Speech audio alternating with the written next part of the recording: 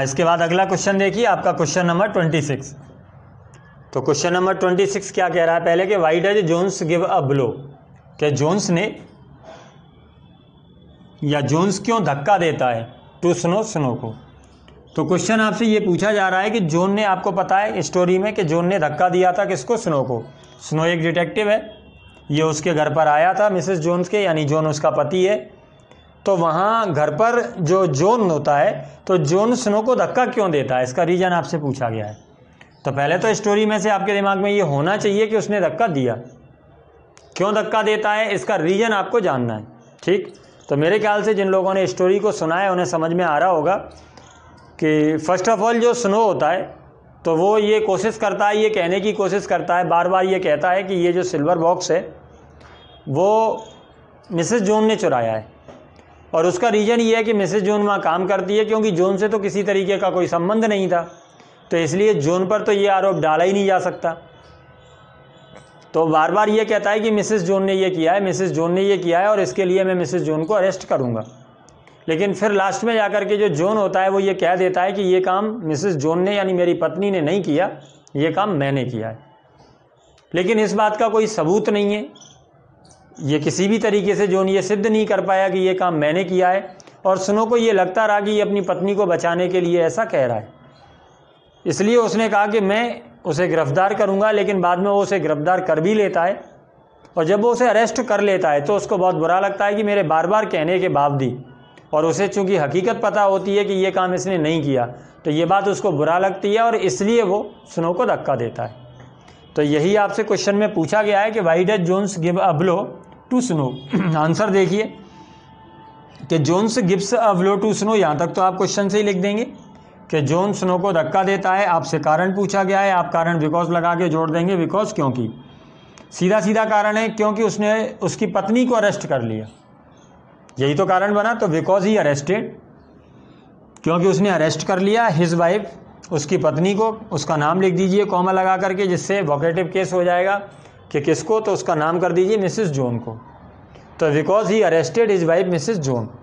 क्योंकि उसने उसकी पत्नी मिसेस जोन को अरेस्ट कर लिया और वो भी किस आरोप में? कि विद चार्ज ऑफ़ थेफ्ट चोरी के आरोप में। तो ये आपको पहले दिमाग में ठीक से आना चाहिए कि उसने चोरी के आरोप में उसकी पत्नी को अरेस्ट कर लिया। जबकि वो चोरी किसने करी थी? वो मिस्टर जोन ने करी थी। अब जोन चूँकि ये बात सिद्ध नहीं कर पाया, इसलिए सुनो ने इस बात पर भरोसा नहीं किया। इसलिए उसने उसकी पत्नी को अरेस्ट कर लिया, लेकिन जब पत्नी को अरेस्ट कर लिया तो ये बात जोन को बुरा लगी। तो पहले आप सीधे सीधे कह देंगे कि John gives a blow to Snow, कि जोन स्नो को धक्का देता है बिकॉज़ क्योंकि ही हैज़ अरेस्टेड क्योंकि सॉरी ही अरेस्टेड क्योंकि उसने अरेस्ट कर लिया हिज वाइफ मिसेस जोन क्योंकि उसने उसकी पत्नी मिसेस जोन को अरेस्ट कर लिया, और विदा चार्ज ऑफ़ थेफ्ट चोरी के आरोप में। चोरी के आरोप में अरेस्ट कर लिया, वो भी कब? इवन बाइल जबकि जोन सेड दैट जबकि जोन ने कहा था कि इट वॉज़ ही ये वो है हु हैड स्टोलन जिसने चोरी किया था द बॉक्स बॉक्स को एंड नॉट इज़ वाइफ उसकी पत्नी ने नहीं। अब फ़र्स्ट ऑफ़ ऑल आपको यहाँ ग्रामर समझनी है। He arrested his wife Mrs Jones with charge of theft यहाँ तक आपको कोई बात नहीं है इवन बाइल जबकि। ठीक? जोन सेट, जोन ने ये कहा। अब ये देखिए, ये सेंटेंस आपका पास्ट में चला गया, जोन सेट। जबकि जोन ने ये कहा, यानी जिस समय अरेस्ट की बात हुई, ये उससे पहले की है तो ये पास्ट में गई। जबकि जोन ने ये कहा कि इट वॉज़ ही उसने क्या कहा था कि ये मैं हूँ। यानी जो काम के लिए तुम इसको अरेस्ट कर रहे हो, उस काम का जिम्मेदार मैं हूँ इट वॉज़ ही हाँ तो अब देखिए, जैसे अगर आपने यहाँ जो ग्रामर का पॉइंट है, उसको समझने की कोशिश करिए। जैसे यहाँ जो वॉज़ है, यानी बी फॉर्म बी फॉर्म मेरे ख्याल से आपको लर्न होंगे। वॉज़ वर है इज़ एम आर है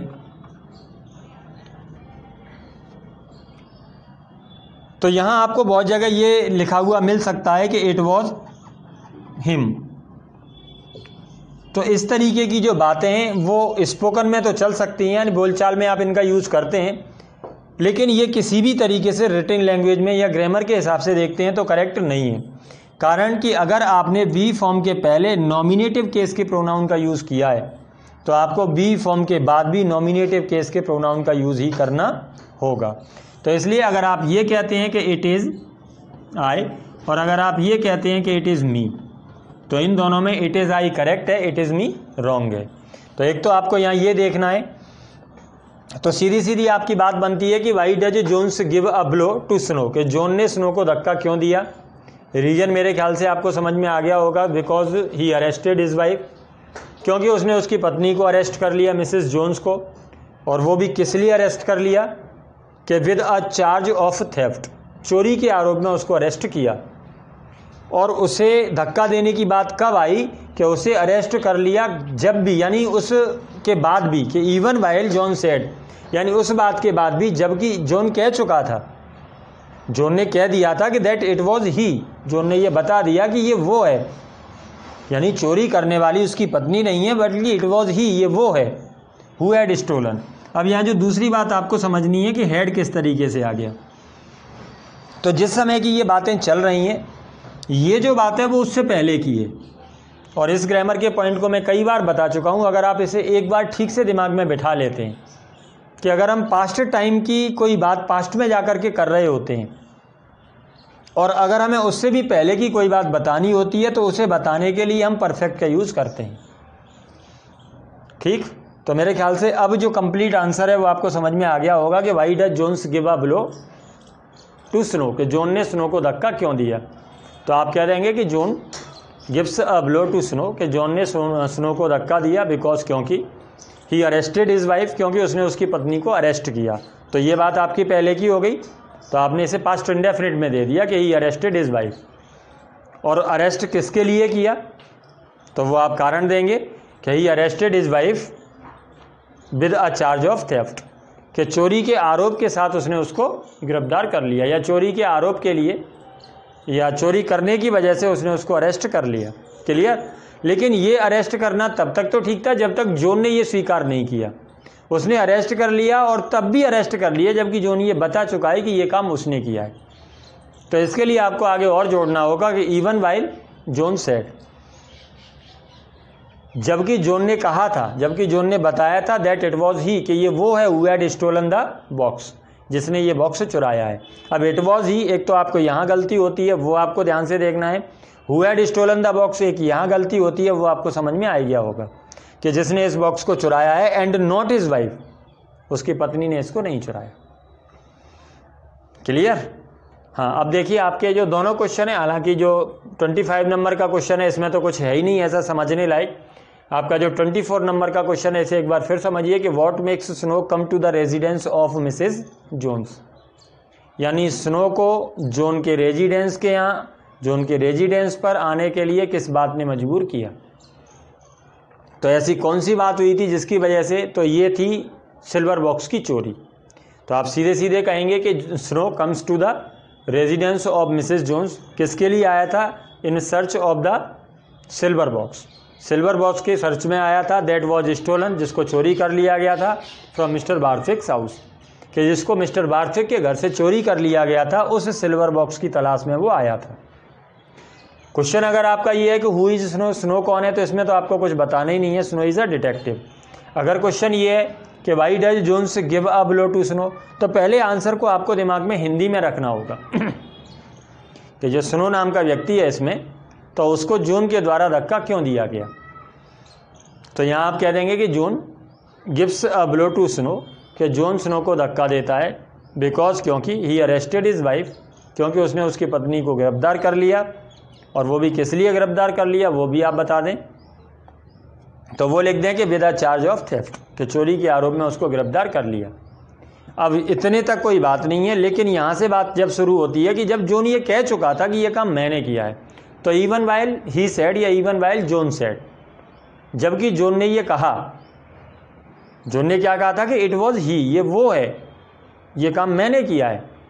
तो यहाँ होना क्या चाहिए था कि इट वॉज़ आई ये मैं हूँ। लेकिन आई चूँकि आपका फ़र्स्ट पर्सन है फ़र्स्ट पर्सन आपका सब्जेक्ट से बदलता है तो इस तरीके से इट वॉज़ ही हो जाएगा। कि इट वॉज़ ही ये वो है हु हैड स्टोलन ये पास्ट में बात चल रही है और उससे भी पहले की है। तो इसे आप परफेक्ट में ले जाएँगे कि हु हैड स्टोलन जिसने चोरी कर लिया है the box and not his wife और उसकी पत्नी ने इसको चोरी नहीं किया है। क्लियर चलिए, इसके बाद देखिए आपका जो नेक्स्ट क्वेश्चन है। हाँ तो अब देखिए आपका question number twenty seven question आपका क्या कह रहा है कि how was Snow able to recognise able to recognise यानी कैसे पहचान पाया?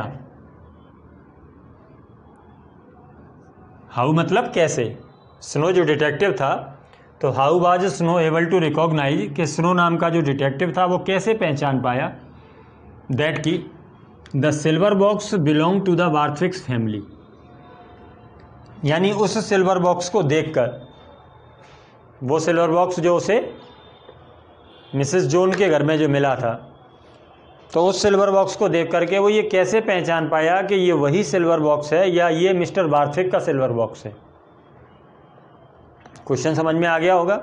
जैसे जब वो घर में एंटर करता है तो उसे वहाँ टेबल पे सिल्वर बॉक्स रखा हुआ मिलता है। वो जा कर के उठा करके देखता है और पहचान लेता है कि ये जोन बार्थिक का ही सिल्वर बॉक्स है। अब क्वेश्चन आपसे क्या है? कि हाउ कैसे? How was Snow able to recognise कि स्नो, कैसे पहचान पाया that the silver box belong to Barthwicks family कि ये सिल्वर बॉक्स बार्थिक की फैमिली वाला ही सिल्वर बॉक्स है। आंसर देखिए। स्नो रिकॉग्नाइज स्नो ने पहचान लिया बाई द लेटर्स जो उस पर लेटर खुदे हुए थे, जो उस पर लेटर लिखे हुए थे तो बाई द लेटर्स उस पर लिखे हुए अक्षरों से पहचान लिया और उस पर क्या लेटर थे?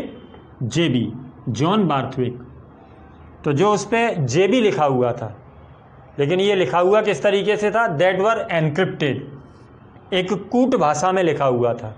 तो जब कोई भाषा कोडवर्ड में लिखी जाती है, जिससे कि हर कोई व्यक्ति जो सामने वाला व्यक्ति है, आसानी से नहीं समझ पाए तो इस तरीके की लिखावट को आप कहते हैं एनक्रिप्टेड तो क्वेश्चन आपका है कि कैसे पहचान लिया? How was Snow able to recognise तो यहाँ सीधा सीधा कह देंगे कि Snow recognise by the letters कि स्नो ने इसको पहचान लिया लेटर्स से। और वो लेटर क्या थे? जेबी तो जेबी नाम के जो लेटर लिखे हुए थे, उससे उसने पहचान लिया। दैट वर एनक्रिप्टेड जो कि कूट भाषा में उस पर अंकित थे। कूट भाषा में उस पर लिखे गए थे। ऑन द बॉक्स बॉक्स के ऊपर। तो ज़्यादा टिपिकल क्वेश्चन नहीं है। बिल्कुल ईजी आंसर है इसका। इसके बाद देखिए आपका जो क्वेश्चन नंबर ट्वेंटी एट है। ट्वेंटी एट क्वेश्चन ये कह रहा है कि what did Jack say Jack ने क्या कहा? अबाउट द हैबिट्स आदतों के बारे में। ऑफ़ द स्टूडेंट्स छात्रों की। ऑफ़ ऑक्सफोर्ड यूनिवर्सिटी के ऑक्सफोर्ड यूनिवर्सिटी के छात्रों की आदतों के बारे में what did Jack say Jack ने क्या कहा? जब उससे ये कहा गया था कि तुम नशे की इतनी ज़्यादा हालत में थे, तुमने वहाँ नशा किया, क्या तुम वहाँ यही करने जाते हो? तो इस बात पे उसे थोड़ा सा बुरा लगा और वो कहता है कि आप इस तरीके से क्यों कह रहे हैं? मैंने केवल खाना खाया और ऑक्सफोर्ड में तो खाना खाते समय हर कोई ये लेता है। तो उसने इसे एक नॉर्मल तरीके से लिया।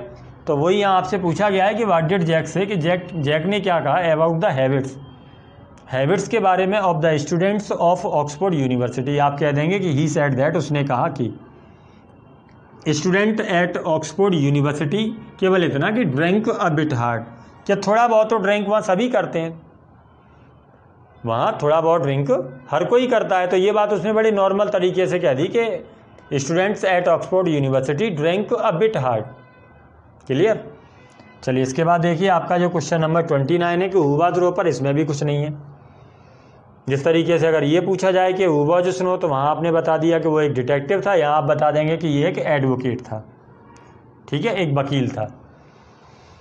इसके बाद देखिए, आपका जो क्वेश्चन नंबर थर्टी है कि what did Roper ask Roper ने क्या कहा जैक से टू डू करने के लिए? वैन जब ही टेस्टिफाइज टेस्टिफाइज मतलब गवाही देना, कि जब वो गवाही दे in the court of law यानी उसने जैक को क्या सलाह दी? जो रोपर नाम का वकील था। आपको याद होगा कि उसने कहा कि तुम्हें अभी जाने की ज़रूरत नहीं है। जब जाने की ज़रूरत होगी, मैं बता दूँगा। और फिर जब तुम जाओगे, तब तुम्हें वहाँ क्या करना है? तो उसके लिए यहाँ क्वेश्चन पूछा गया है कि तो वाट डेड रोपर आस्क के रोपर ने क्या कहा जैक से? अब यहाँ भी देखिए, कहने का मीनिंग जो आस्क लगाया गया है, उसका रीजन क्या है? कि सामने जो सेंटेंस लगाए टू डू करने के लिए, ये एक इम्परेटिव सेंटेंस है। और जिन स्टूडेंट ने नरेशन अच्छे से कर लिए उनको समझ में आ रहा होगा। तो व्हाट डिड रोपर आस्क कि रोपर ने क्या कहा? जैक से टू डू करने के लिए कब टाइम ध्यान रखना है कि when he testifies in the court of law यानी जब तुम कोर्ट में गवाही दो तो उस समय तुम्हें क्या करना है? या उस समय तुम्हें क्या कहना है? तो आंसर सीधे सीधे कि रोपर एडवाइज्ड जैक के नॉट टू से उसने कहा कहने के लिए मना किया एनीथिंग कुछ भी। At all in the court of law तो उसने कहा कि कुल मिलाकर के तुमको कुछ नहीं कहना। तो यानी उसने कहने के लिए मना किया। तो आप यहाँ क्या देंगे कि रोपर एडवाइज्ड अब यहाँ देखिए, जो उसने कहा, जो कहा वो उसके लिए एक सलाह थी। तो इसलिए यहाँ जो आस्क था वो आपका चेंज हो गया काय में एडवाइज में। क्या रोपर एडवाइज्ड कि रोपर ने एडवाइस किया रोपर ने सलाह दी किसको? जैक को। क्या सलाह दी? कि नॉट टू से एनीथिंग ये सलाह थी उसकी। तो उसने कुछ भी न कहने की सलाह दी उसको। Not to say anything at all in the court of law यानी कुल मिलाकर के तुम्हें कुछ नहीं कहना कोर्ट ऑफ़ लॉ में। तो सारे क्वेश्चन ये भी बहुत इजी हैं। केवल इसमें आपको ये याद रखना है कि कौन क्या और कौन से टाइम पर किसने क्या कहा। ठीक? एक बार फिर से देखिए क्वेश्चन नंबर फ़र्स्ट आज का ये कि how was Snow able to recognise that the silver box belong to the Barthwick family. ये उसे कैसे पता लग गया कि सिल्वर बॉक्स जो है, यही सिल्वर बॉक्स वार्थिक की फैमिली वाला सिल्वर बॉक्स है? तो आप यहाँ क्या देंगे कि सुनो रिकॉग्नाइज उन्होंने पहचान लिया बाई द लेटर्स कि उसने उन लेटर्स से पहचान लिया, जो उस पर अक्षर लिखे हुए थे, उससे पहचान लिया? J B that were encrypted on the box अगला है कि what did Jack say about the habits of the students के स्टूडेंट की हैबिट के बारे में क्या कहा? ऑफ़ ऑक्सफोर्ड यूनिवर्सिटी तो यहाँ आप कहेंगे कि ही सेड दैट के student at Oxford University drink a bit hard इसमें ज़्यादा कुछ नहीं कहना। जब ये पूछा जाता है कि रोपर कौन था, आप सीधे कह देंगे कि वो एक एडवोकेट था। जब आपसे ये पूछा जाता है कि वॉट डिड रोपर आस्क कि रोपर ने क्या कहा टू डू करने के लिए when he testifies in the court of law तो ये जो कहा उसने, वो उसके लिए एक सलाह हो गई। तो इसलिए रोपर आस्क की जगह पे आप कहेंगे कि रोकर, रोपर एडवाइज्ड जैक कि रोपर ने जैक को सलाह दी। अब जो सलाह थी वो आप आगे लिख देंगे कि not to say anything at all तो कुछ भी ना कहने के लिए उसने सलाह दी in the court of law clear तो बस ये आपके जो शॉर्ट आंसर टाइप क्वेश्चन है यह आपका कंप्लीट हो जाता है। इसके बाद एक एक करके आप लॉन्ग आंसर टाइप क्वेश्चन को और देखिए।